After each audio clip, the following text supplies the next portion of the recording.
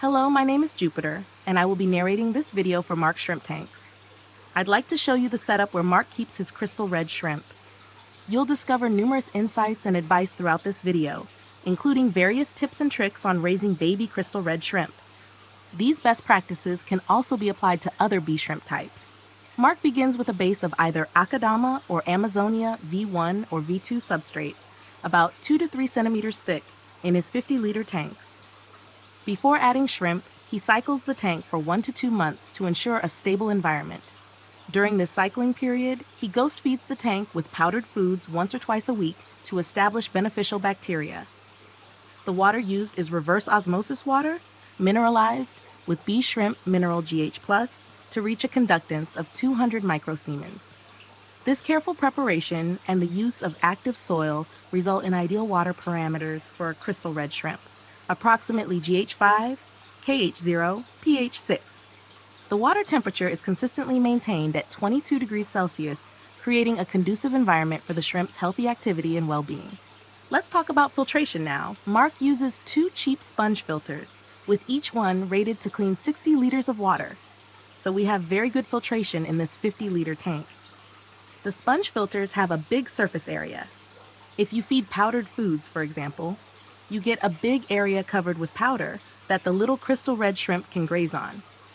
Mark only cleans the sponge when the water flow is significantly reduced. This can be indicated by large bubbles just bursting at the outlet instead of a steady stream of well-oxygenated water. Moss is almost a must in a shrimp breeding tank because the little shrimp always find food in it. Besides moss, Mark also puts caves and tubes in his tank which act as hiding places for the little bees. It's also very important to have leaves in the tank. In general, Mark uses dead brown leaves from walnut, oak, and beech trees. The leaves must have different decomposition stages. Mark puts a few leaves in the tank every two weeks. The leaves can stay there. They are decomposed by microorganisms, which are in turn great food for the little shrimps. Leaves may be fed generously. Mark keeps his lights on for eight hours a day to ensure the moss and other plants thrive supporting the ecosystem within the tank. Let's discuss feeding the shrimp now. Young bee shrimp are relatively immobile during the first few days. Therefore, Mark prefers to feed them powdered foods such as powdered fish flakes, pollen, Bacter AE, or dead shrimp powder.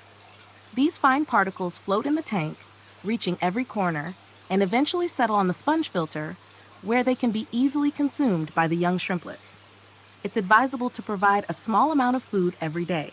Mark also eats nettles or spinach in the shrimp's diet at least once a week. The leaves are briefly boiled, rinsed with cold water, and then added to the tank. Nettles and spinach are rich sources of calcium and magnesium, essential nutrients for shrimp molting. Moving on to the acclimation process, Mark emphasizes the importance of drip acclimation for all shrimp, even when transferring them from tank to tank.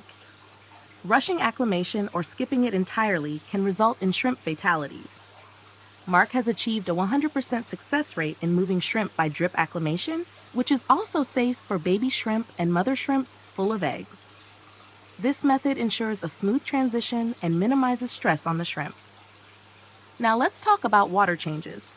Mark does not do any water changes at all in his bee shrimp tanks. Yes, you heard that right. Mark no longer does water changes in his bee shrimp tanks because he noticed he has better results not doing them. Mark only tops up his tanks with pure reverse osmosis water once or twice a week. These tanks in general will last one to two years if you maintain a substrate depth of around two to three centimeters. Mark suggests that you forget about reading in-tank numbers and start enjoying your shrimp keeping.